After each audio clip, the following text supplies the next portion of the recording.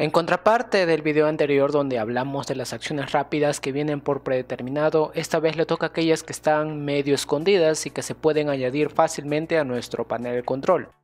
Para acceder a ellas simplemente vamos hasta el final donde está el icono de más, nos aparecerán todas las disponibles y recuerden que no todos los ajustes rápidos están habilitados para todos los modelos. Para poder entrar a la configuración de cada uno no se podrá hacerlo simplemente presionándolo, sino que sí o sí tendrás que añadirlo al panel y recién podrás acceder a esta. Recuerda siempre buscarle la utilidad a cada ajuste rápido, si no crees que es conveniente usarlas entonces déjalas como estaba, para qué complicarse la vida. Sin más dilación, comencemos.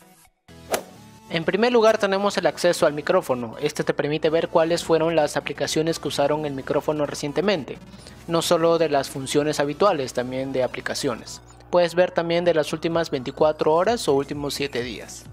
Puedes acceder al administrador de permisos para una lista mucho más detallada, así como activar o desactivar el acceso al micrófono, además de la alerta al portapapeles, entre otros ajustes. En sincronizar, este se encarga de sincronizar, valga la redundancia, las cuentas que tenemos en nuestro dispositivo y actualizarlas constantemente para recibir la información lo más reciente posible. Puedes añadir más cuentas así como sincronizar los datos automáticamente. Cabe resaltar que esto consume más datos y también batería. En hacer captura de pantalla si lo presionamos nos hará la captura respectiva y ya. También nos permite deslizar para capturar si hacemos este movimiento entre otras opciones fáciles de comprender, como mostrar herramientas, o sea, esto, la de eliminar después de compartir o la de ocultar esta barra, así como cambiar el formato.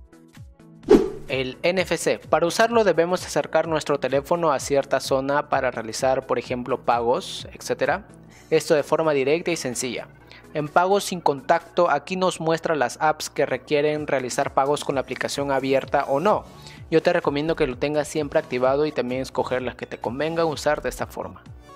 El Music Share, esta función personalmente me gusta porque te permite compartir la música que estás oyendo con otro dispositivo Samsung, usando ambos celulares como altavoces. Para hacer esto solamente necesitamos el Wi-Fi y el Bluetooth activados.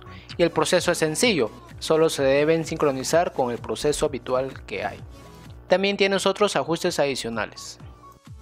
En notificaciones de sonido lo que hace es mandar notificaciones especiales acorde al tipo de sonido. Este tiene diversas categorías como las que estás viendo, así como también permite programar qué tipo de alerta va a utilizar. Podemos escoger qué tipo de notificaciones usar, por ejemplo vibrar, usar el flash o ambos. Por otro lado podemos grabar inclusive los sonidos, así como otros ajustes respecto a la pantalla, asistencia y transcripción. En transcripción instantánea podemos utilizar esta función tanto con internet o sin internet. Puedes en principio cambiar el tamaño del texto acorde a tus gustos, también activar lo que sería el historial y sobre todo cambiar el idioma principal y secundario. Si lo utilizas sin conexión recuerda que esto aún está en fase beta. En fuentes de contraste alto aquí simplemente hará que las letras tengan un borde para que éstas resalten mucho más. También puedes añadir un atajo con estas tres opciones que te estoy mostrando ahora. En inversión de colores, bueno, que decía realmente cumple con lo que dice, es decir, invierte todos los colores de absolutamente todo, de tu galería, de los iconos, de las aplicaciones, del contenido multimedia, todito. Vaya dato perturbador. Al igual que anterior, tienes las mismas tres opciones para añadir en un atajo. En corrección de color, este te ayuda a ver algunos colores específicos. Tienes estas cuatro opciones, cada uno con una combinación de color diferente. Al igual que el anterior, te permite añadir un atajo.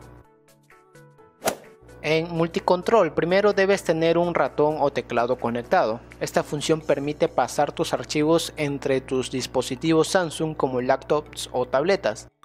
Ah, y no te olvides tener activado siempre el Wi-Fi y Bluetooth.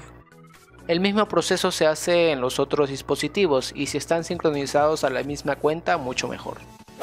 En proteger la batería, este te muestra algunas opciones para habilitar, como adaptar la batería para mayor duración, mostrar el porcentaje de batería, mostrar info de la carga, sobre todo si utilizas el Always in Display, permitir la carga rápida y proteger la batería como tal, función que te recomiendo bastante.